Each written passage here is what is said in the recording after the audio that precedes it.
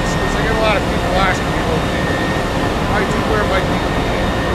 Uh, I'm going to show you something.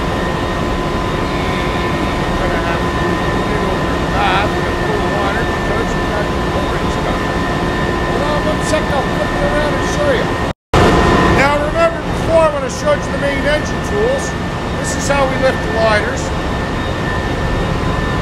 Right? It just gets picked up. This is all like a like a wax, protective coating over the liner. As you can see, it's a brand new one.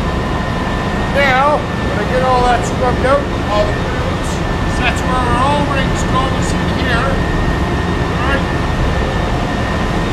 After I get that skull scrubbed off tonight, put that other lifting tool on and we flip the liner.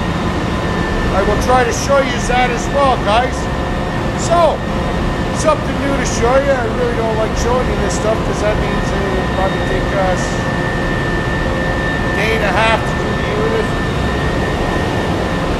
Right, that's the pull liner, pull piston, or let me rephrase this. Pull ahead,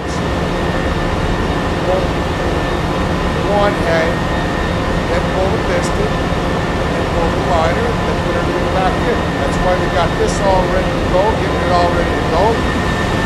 Same way, that's the head. So, when we get everything ripped off, so, when we get everything ripped off, clean it all up, lock the seat down there on the, the block itself, and then just put everything back in. So, we're going to have a busy couple days because I'm not going to be here. Going to be on assistant with the carbon maintenance on Caribbean Road.